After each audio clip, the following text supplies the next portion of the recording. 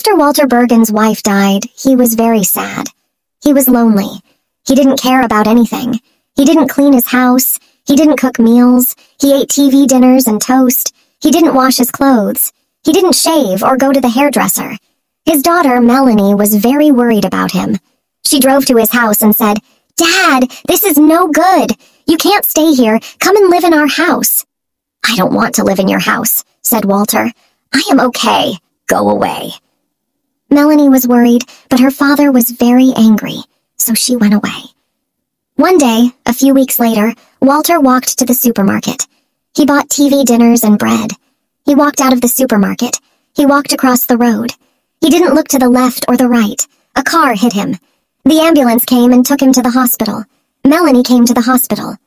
Dad, she shouted, you will not live alone. You will come to our house. Walter went to Melanie's house. Melanie's husband's name was Roger. He was not happy. Your father is dirty. He is always angry. Why is he living in our house? He is my father, said Melanie. He is old. He is unhappy. He must stay here. I understand, said Roger. Melanie and Roger's daughter was called Rosa. She was nine years old. One night, while they were eating dinner, Melanie said, Tomorrow, Rosa's school has Grandparents' Day. What is Grandparents' Day? Asked Walter. The children's grandparents go to the school. They see what the children do at school. The children sing, and the grandparents play games with them. It is very nice, said Melanie. I am Rosa's grandfather, said Walter. I will go to Grandparents' Day. Rosa jumped up. She ran away from the table. She went to her bedroom. Later, Walter was going to bed. He walked past Rosa's bedroom. She was crying. Walter heard Roger's voice. Rosa, he said, stop crying. No, shouted Rosa. My grandfather is dirty. He smells bad. He doesn't clean his clothes. He is always angry. I don't want him to come to my school. The other children will laugh at me. Rosa, said Roger. Many children have no grandparents. You are lucky. You have a grandfather. If Walter wants to come to your school, it is a good thing. Walter went to his bedroom. The next morning, Rosa did not want to go to school. My grandfather is not nice. I don't want him to come to my school. You will go to school, said Melanie. The grandparents came to Rosa's school at 1 p.m. The students went to the school hall. All the children ran to find their grandparents. Rosa waited by the door. She looked all around the school hall, but she couldn't see her grandfather. Where is he? she thought. Maybe he didn't come.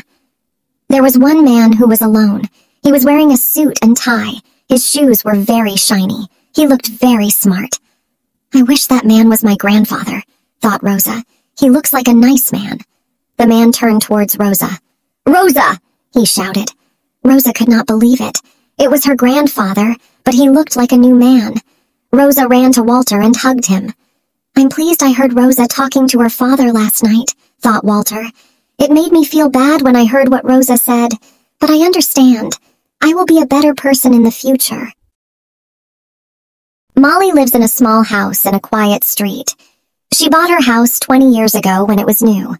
Jim and Iris Watterson bought the house next to Molly's at the same time. They were good friends and good neighbors for 20 years, but now the Wattersons' townhouse was empty.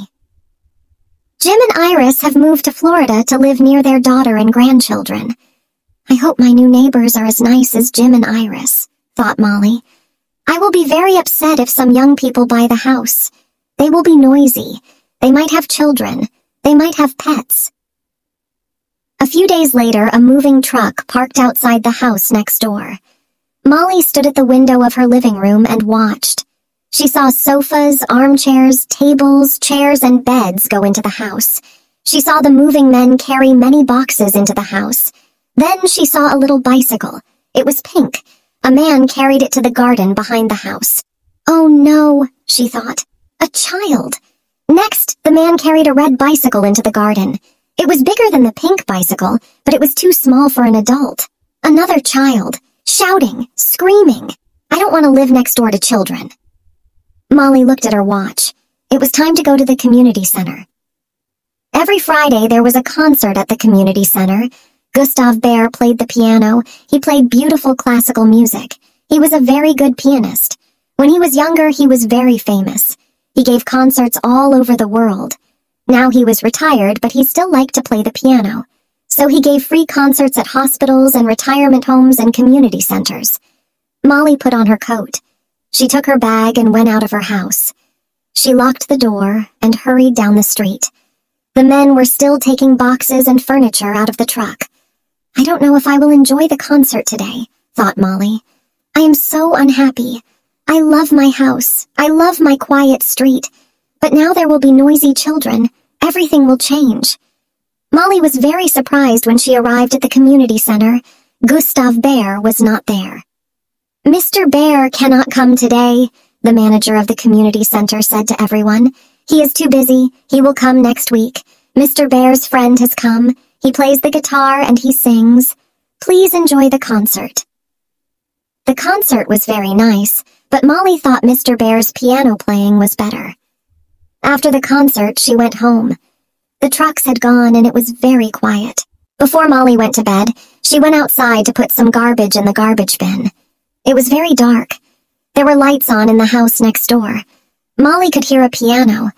The music sounded beautiful. She walked over the fence and looked at the house next door. The lights were on in the house and she could see inside. I guess they have not had time to hang curtains yet, she thought. She could see many boxes on the floor of the living room. She could see a grand piano, but she could not see who was playing it. The next day, someone rang the doorbell, and Molly went to answer it. She was very surprised. Gustav Bear was there. Good morning, he said. I am your new neighbor. You, said Molly. I thought it was a family with children. I saw the bicycles, a pink one and a red one. Oh, said Mr. Bear. They are my grandchildren's bicycles. Sometimes they come to visit on Sundays. It is nice for them to have something to do at my house. If they have nothing to do, they get bored and very noisy. Most of the time, there will only be me living there. I'm sorry. It will be very quiet. I think maybe you like to have children and pets next door. Oh, no, no, said Molly. Please come in and have a cup of tea. I saw you have no curtains yet. Maybe I can help you. I want you to be happy in your new home.